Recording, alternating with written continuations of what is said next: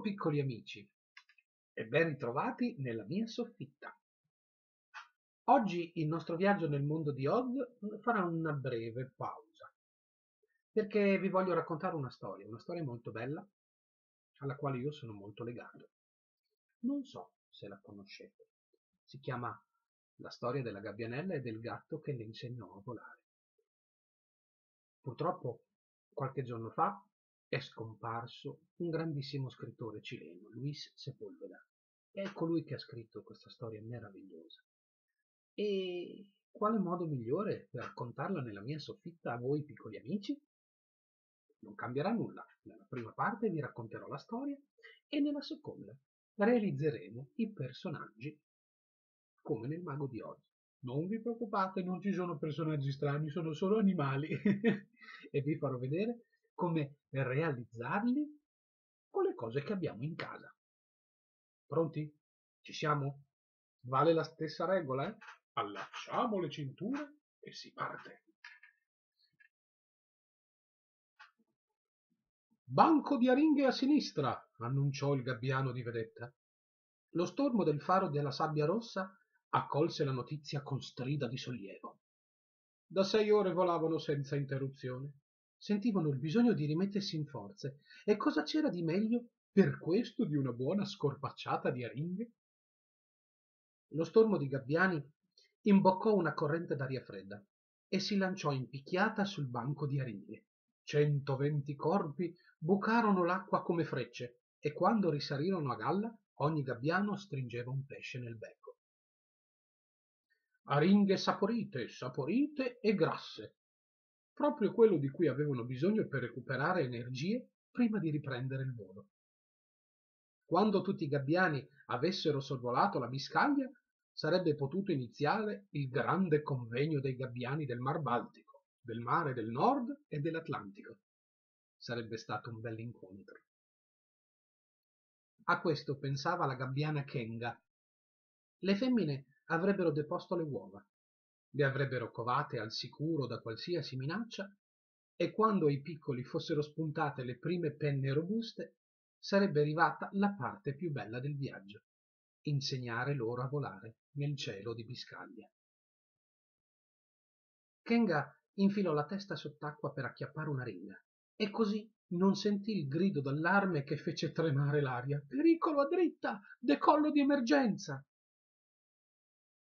Quando kenga tirò di nuovo fuori la testa. Si ritrovò sola nell'immensità dell'oceano. Aprì le ali per spiccare il volo ma l'onda densa fu, fu più rapida e le sommerse completamente. Quando tornò a galla la luce del giorno era scomparsa e dopo aver scosso il capo con energia capì che il petrolio le stava oscurando la vista con tutti i muscoli tormentati dai crampi per lo sforzo raggiunse finalmente il limite della macchia di petrolio e si sentì il fresco contatto dell'acqua pulita. Guardò il cielo ma i suoi compagni non l'avevano aspettata non per cattiveria ma perché questa era la loro legge. Quel dannato petrolio le incollava le piume della coda ma con grande sforzo kenga riuscì a spiccare il volo lo stesso per fortuna. Era una gabbiana giovane e forte. Volò a fatica verso l'entroterra. Il movimento delle sue ali si faceva sempre più lento e pesante. Perdeva vigore. Adesso non volava più così in alto. Vide che stava sorvolando un'alta torre ornata da una banderuola d'oro. San michele! stridette riconoscendo il campanile della chiesa di amburgo le sue ali si rifiutarono di continuare a, a volare. Intanto un gatto nero grande e grosso prendeva il sole sul balcone facendo le fusa. Mi dispiace molto lasciarti solo, disse il suo padroncino accarezzandogli il dorso, ma devo andare in vacanza con mamma e papà. Il gatto nero si chiamava Zorba sentì chiudere la porta a doppia mandata e corse in balcone per vedere la sua famiglia adottiva prima che salisse in auto Lui voleva molto bene a quel bambino che lo aveva salvato da piccolo, quando era solo un batuffolino di pelo nero. Nel preciso istante in cui si girava pigramente per farsi scaldare la schiena dal sole, Zorba sentì il sibilo provocato da un oggetto volante e la gabbiana cadde sul balcone. Era un uccello molto sporco. Aveva tutto il corpo impregnato di una sostanza scura e puzzolente. Zorba si avvicinò e la gabbiana tentò di alzarsi trascinando le ali. Non è stato un atterraggio molto elegante, miagolò Zorba. Mi dispiace, non ho potuto evitarlo, ammise la gabbiana. Senti, uh, sembri ridotta malissimo. Cos'è quella roba che hai addosso? E come puzzi, miagolò Zorba. Sono stata raggiunta da un'onda nera, dalla peste nera, la maledizione dei mari. Morirò, stridette accorata la gabbiana. Vincendo la ripugnanza, il gatto le leccò la testa. La sostanza di cui era coperta aveva anche un sapore orribile. Senti, amica, io voglio aiutarti, ma non so come, miagolò Zorba. Voglio deporre un uovo. Con le ultime forze che mi restano, voglio deporre un uovo, amico gatto. Ti chiedo però di farmi tre promesse. Mi accontenterai? Ti prometto tutto quello che vuoi, miagolò impietosito. Promettimi che non mangerai l'uovo. Ti prometto che non mangerò l'uovo. Promettimi che ne avrai cura finché non sarà nato il piccolo. Stridette sollevando il capo. Prometto che avrò cura dell'uovo finché non sarà nato il piccolo. E promettimi che gli insegnerai a volare. Stridette guardando fisso negli occhi il gatto. Allora Zorba si rese conto che quella sfortunata gabbiana non solo delirava, ma era completamente pazza. Prometto che gli insegnerò a volare. E ora riposa. Io vado in cerca di aiuto. Miagolò Zorba, balzando direttamente sul tetto. Kenga guardò il cielo. Ringraziò tutti i buoni venti che l'avevano accompagnata e proprio mentre esalava l'ultimo respiro, un ovetto azzurro rotolò accanto al suo corpo, impregnato di petrolio. Questa è la prima parte della nostra storia. Abbiamo conosciuto due personaggi, una gabbiana e un gatto.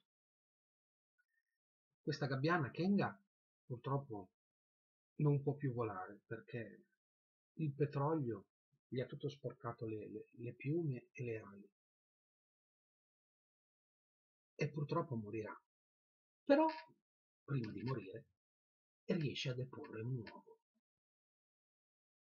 Oggi che cosa faremo? Oggi faremo un bellissimo gabbiano. Ma con che cosa?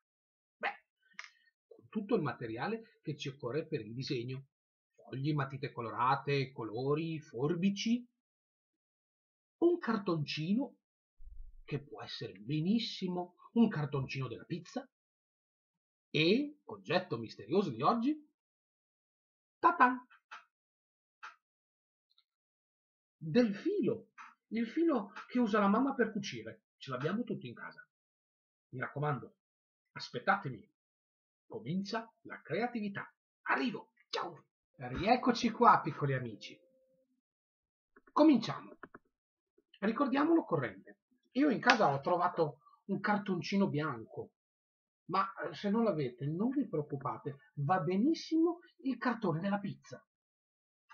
Quando vi arriva la pizza a casa che sopra è bianco, noi possiamo utilizzare benissimo quello perché è resistente, non è proprio un foglio da disegno, è un po' più rigido e si può colorare sopra. abbiamo bisogno di un pennarello nero, una matita, delle matite colorate o degli acquarelli, un paio di forbici e del filo da cucire. E direte, cosa ci serve il filo da cucire?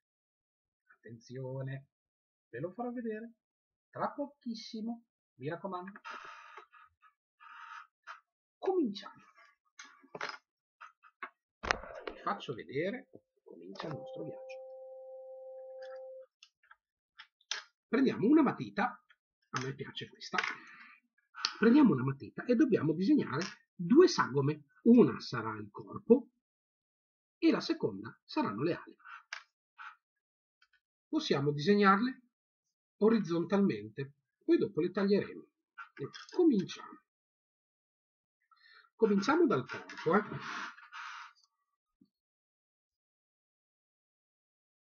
Facciamo una figurina non troppo, non troppo grossa. Cominciamo con la coda,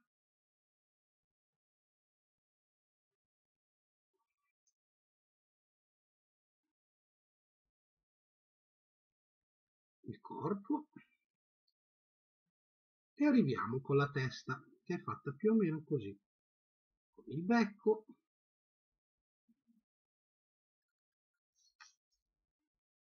È più o meno una cosa così vedete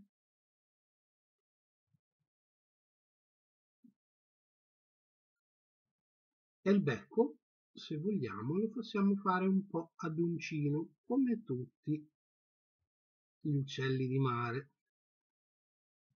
Per come avete capito dalla storia, loro si buttano nel mare per prendere il pesce. Quindi vedete questa, questa figurina? Se volete possiamo disegnare gli occhi e chiudiamo il becco.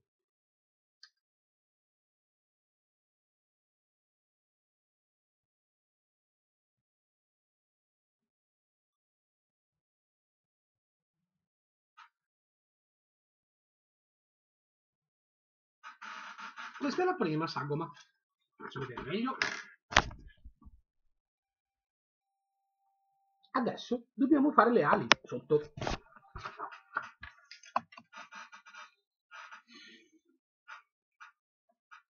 Guardate, eh, prendiamo tutto il foglio. Dobbiamo fare prima una cosa così.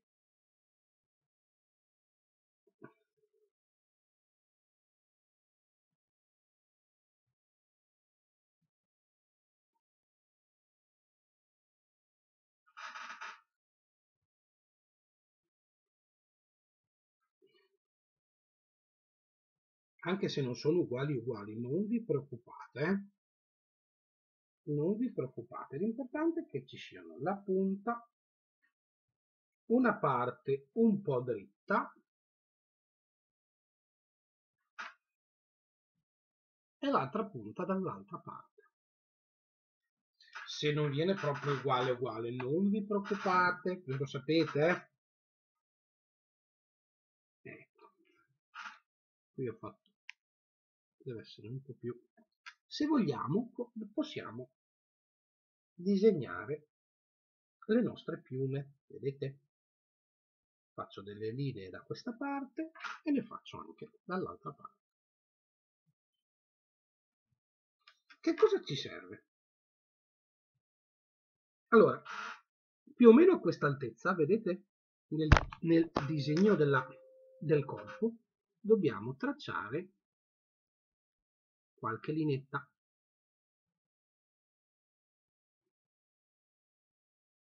E voi direte perché dobbiamo tracciare qualche linea?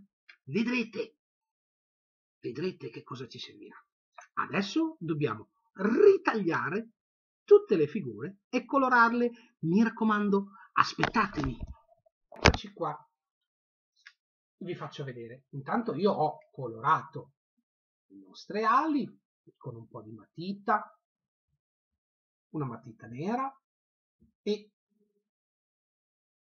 un pennarello nero per dare, vedete, la forma delle, e il colore delle piume.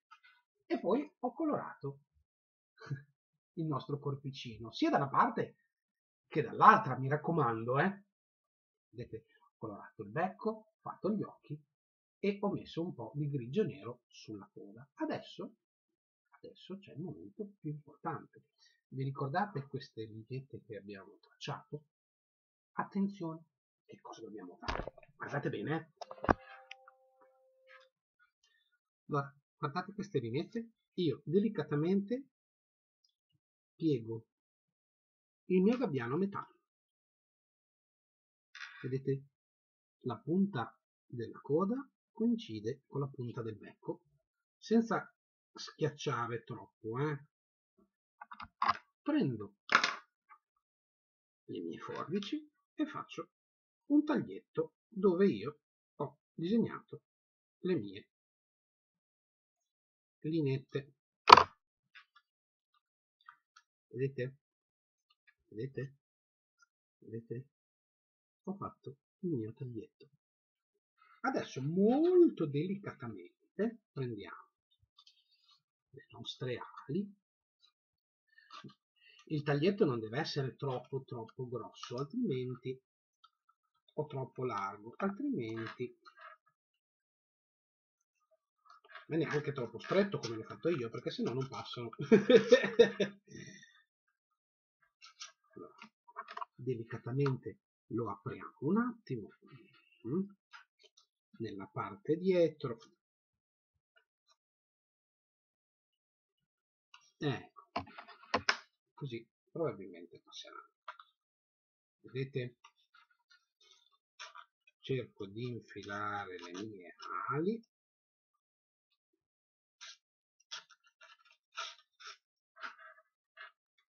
che arrivano più o meno a metà. Le possiamo piegare un po' verso il basso. Guardate, guardate, guardate, guardate, guardate, guardate, guardate, guardate. Oh! E adesso che cosa facciamo? La cosa più bella! Vi ricordate? Andiamo. Io ho questo filo, ne ho tanto. Prendiamo un pezzo del nostro filo abbastanza lunghino mm? lo tagliamo con le nostre forbici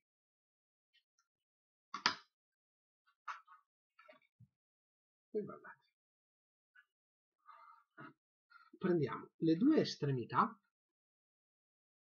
Prendiamo le due estremità. E le mettiamo vicine. Le due estremità le mettiamo vicine. Vedete? E sotto viene una sorta di tondino. Mettiamo il tondino dentro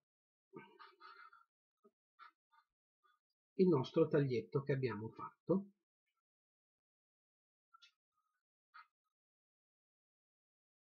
Lo apriamo un attimo. Lo apriamo un attimo. Ecco. poi prendiamo la nostra punta. Vedete da, un, da una parte ho il tondino dall'altra ho la punta mettiamo la punta dentro il tondino e delicatamente faccio vedere. Delicatamente. Tiriamo. Delicatamente tiriamo in modo che vedete che fa un piccolo nodino? E noi con questo lo possiamo appendere guardate che bel gabbiano che abbiamo fatto. Io...